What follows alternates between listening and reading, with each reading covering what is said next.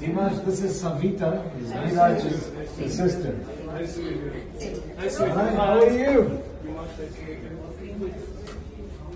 Thank you for coming. Savita keeps uh, keeps everything going.